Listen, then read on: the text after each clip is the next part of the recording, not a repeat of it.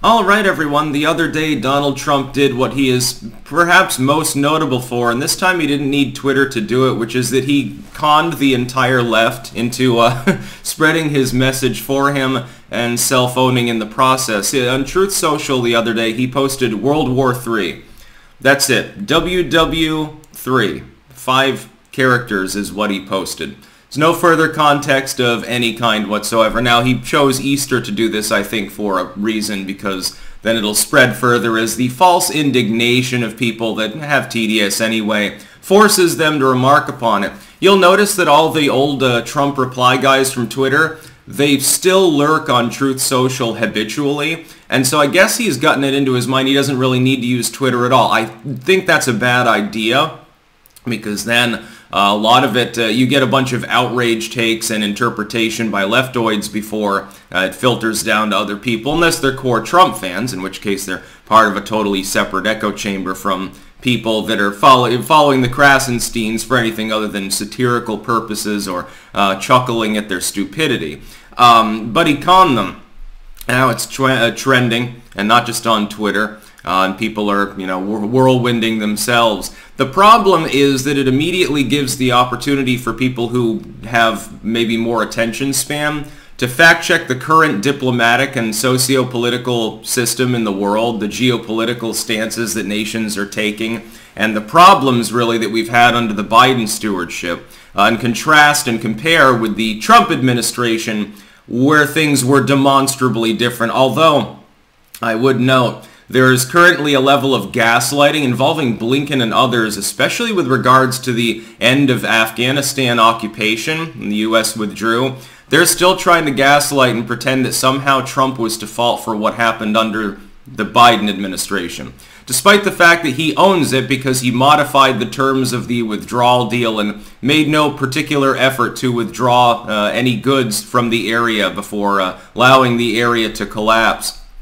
Uh, the bravado that he showed in his uh, phone call to the then president of Afghanistan was quite telling.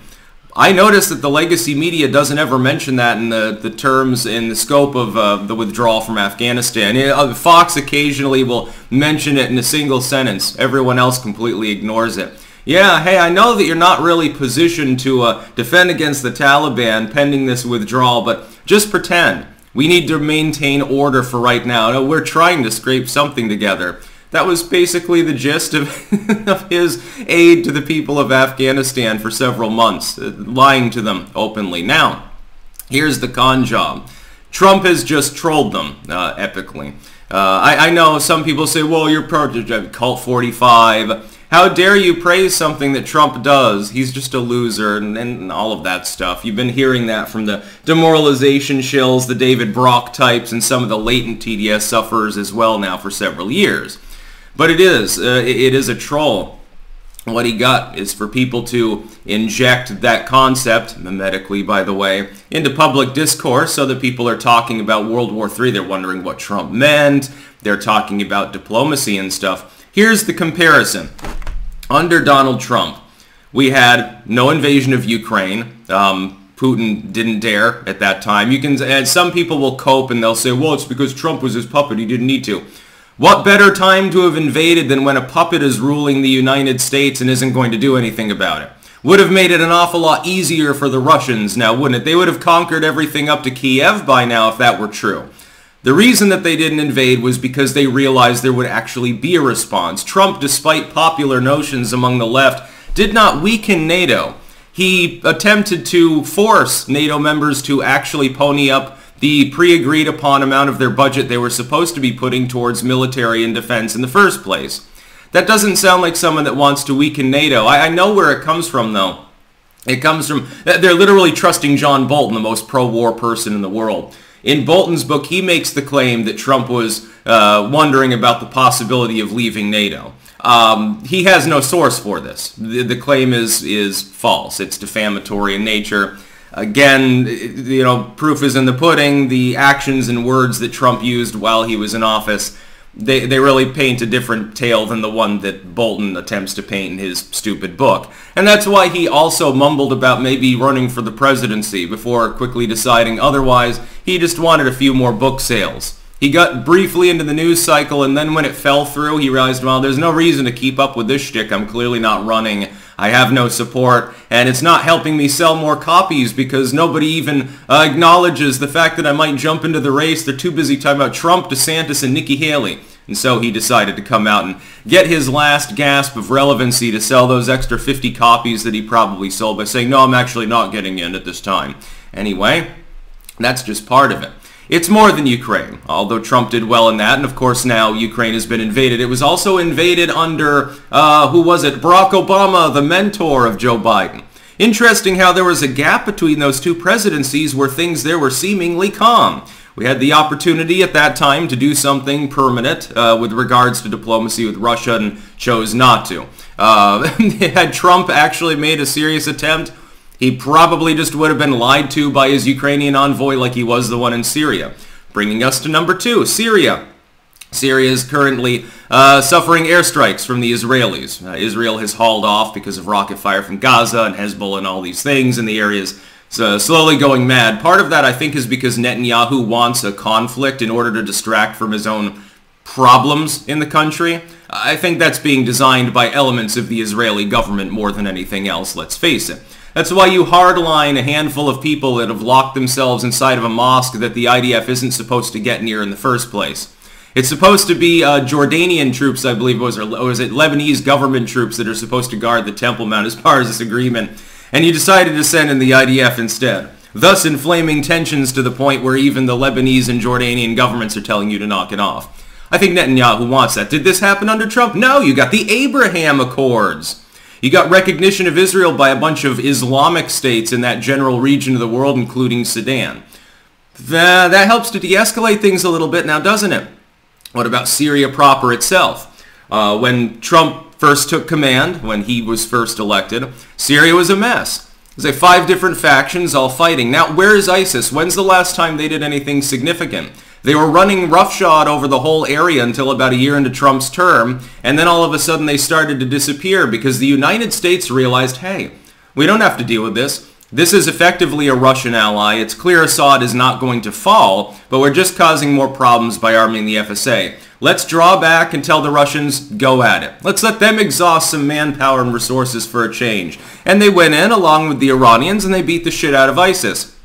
Now the only place that's left that ISIS has a significant control in is Libya. Oh, who ruined that? Oh, that was under Obama too with Hillary Clinton. Are you noticing a pattern here? And that's not all. What about Korea? Under Donald Trump, we had rapprochement with North Korea, and very wisely at the time, and I strongly supported this. It was a wise move, and, and, and it speaks to his larger understanding of East Asian uh, politics and, and boardroom sort of shit.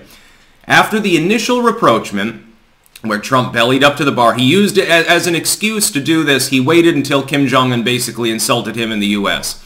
Then he responds in kind, and he hardballs them. The North Koreans go silent for a while, and then they came forward to approach, and said, well, no, no, we weren't really insulting you. We look forward to meeting you, actually. You're a great guy. So he goes on a charm offensive. He got a meeting with Kim Jong-un, first president to step foot across the DMZ, and they're planting peace trees and all that very symbolic stuff. But it did lead to the repatriation of human remains, the removal of landmines, the removal of border propaganda broadcasts on both sides of the DMV, the removal of some of the border stations that are militarized, the pulling back of some of North Korean and South Korean forces, uh, and then the ROK took the fore.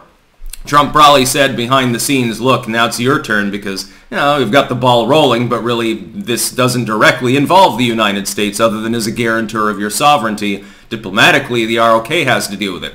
The ROK then went forward, and for a couple of years, things were going smoothly. They restarted cross-border cooperation on business projects, and again, more repatriation, removal of landmines, which occasionally, during flood season, wash down the fucking river and destroy farms and shit, by the way. Uh, you had a lot of progress. The second that Biden takes control, oh, North Korea starts saying, hey, we're going to build more nukes now. We're going to build another line, uh, series of missile systems. Hey, by the way, we're going to put nukes on submarines and turn them into tsunami machines, and then they start firing off a bunch of missiles over Japanese airspace. There had been a good long hiatus of such activity, you'll note, under the latter half of Trump's first term. That's why I hope he gets a second. Things could not be more stark. when we're regarding the state of the world insofar as like the likelihood of World War III, nuclear war, major conflict and stuff.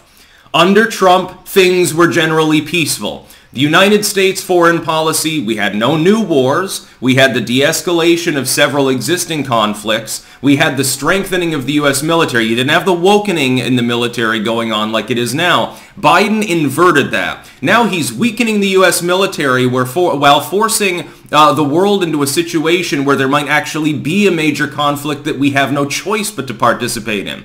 Not not a, a, a, a stupid war of hey, you know, we're going to go and do regime change in Guyana or something, but as in hey, a NATO member just got attacked and they've invoked articles and we don't have a choice but to get involved because they're part of this expansive alliance. And you're depleting the military while you're doing this, lowering their standards and and wokeifying it and making it stupid, making it fucking bullshit, which should not be happening. Trump has conned them into showing their weakness and in some cases showing their love for war. Some of these people, their reaction is, oh, sounds pretty good. Yeah, fuck Joe, fuck Putin. Yeah, yeah, that'd be really fun. You see, you're overlooking something. In a symmetric war, the U.S. military would obliterate the Russians. We would have massive air and sea superiority. Even we could uh, NATO would be involved, so it's all of Europe curb stomping them too. See, there's one little problem. Russia has thousands and thousands of nuclear weapons. If you corner them, if you beat them too hard, they probably press the little red button. This is the problem of the grand chessboard writ large, by the way. Trump seemed to understand such things. Joey doesn't understand jack shit. And the reason why this happens as well is because currently the United States doesn't have a leader. It has a figurehead. It has a steward who does not make his own decisions, even about what kind of ice cream he eats the next time he's taking a photo op at Jill and Jane's fucking waffle cone stand. He doesn't make that decision. He's probably got an earpiece whispering to him the entire day, telling him which uh, foot to put forward next because otherwise he might trip and fall. I wonder why the things that are happening in the world today are happening. what a troll. That's about all. Peace out.